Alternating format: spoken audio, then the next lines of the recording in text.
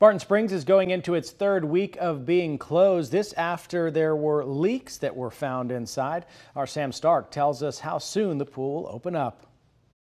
Here is a sight rarely seen in Austin. A completely empty Barton Springs pool on a Sunday afternoon with triple digit temperatures. Both pool employees who have had reduced paychecks during the closure and swimmers are eager for the pool to reopen. I usually go to the springs to swim laps, but have not been recently, obviously. Barton Springs Pool closed after holes were found in a pipe that dates back to the 1940s. The pipe was no longer in use but was causing issues. The city said in early September the pool would likely remain closed for several weeks as repairs were made. It has not been life ending, but it is a little disappointing because it's my favorite way to move my body and it's a nice morning routine for me. And so I've just been a little bit more sluggish. But people will likely be able to get their morning routines back soon. In a statement to KXAN, a Parks and Recreation Department spokesperson said, Some repairs have been made, but the project and cleanup efforts are ongoing. They said as soon as everything is signed off on, the department will announce its reopening.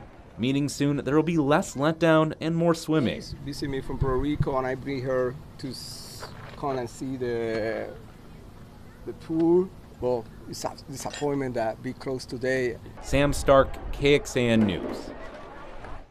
Going in depth, Barton Springs is no stranger to closures. Last month, the pool was closed due to a major storm, and in 2022, the pool had to cut down on days due to a shortage of lifeguards. Meanwhile, Mabel Davis Pool was closed for repairs due to a leak earlier this month, but that pool has opened once again.